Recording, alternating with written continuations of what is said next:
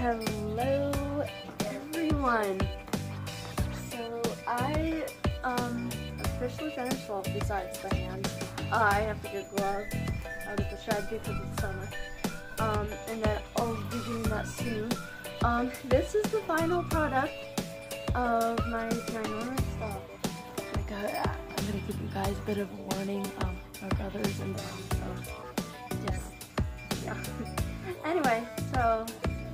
so yeah, I this is I she's actually made out of a onesie. Besides this, because obviously onesies have like this big old gap so that you can see out of, or not onesie like um well yeah but um it's kind of like this movie thing. Um and then I have like this this is just like black thread from the shirt and then this is um the actual so yeah, I just filled the whole thing with stuffing um, and trying to make it look realistic. And then, but um, I just stuffed this sock with um uh, with stuffing too. I know this seems pretty creepy, but I'm just weird like this. And for some reason, I really want to do this. You can see um, the eyes, her eyebrows. There's like a little nose divot or whatever. Um, beautiful.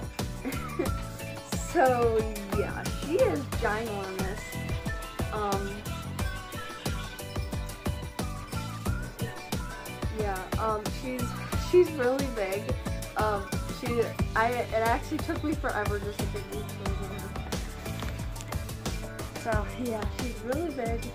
Um, oh yeah, you can actually see like the little moon right here. Was, that was because this was a black cat. Um, I have three onesies. Um, I have one for the winter that I can like cover up in. Um, and I have another Totoro one, which I love. I really, really like that Totoro one. You guys don't know what Totoro is.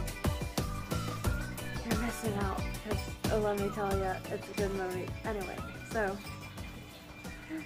oh yeah, um, is, uh, you could actually see the zipper right here.